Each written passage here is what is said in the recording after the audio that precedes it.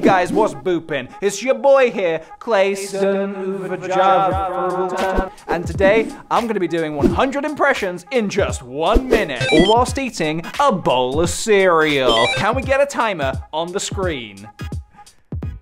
No, a timer. No, a timer, Paul. We've been through this. A timer. Not like a clock. A clock! Three, two, one, start! Um, mm, Yoda I am. That's Yoda, of course. A bit of a fan favourite amongst the uh, impressionist community, I would say.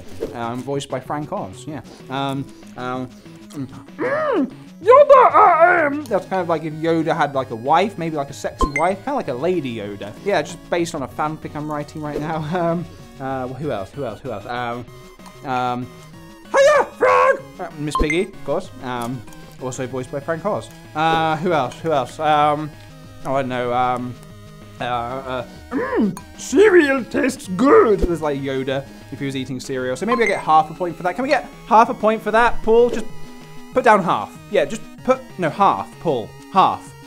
No half. But why have you used permanent ink? Um. Oh God.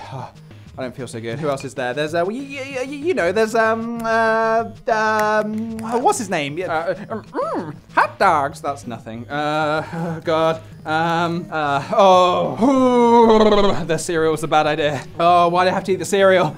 Oh, oh, why didn't I prepare this before the video? Oh, why didn't I prepare the video?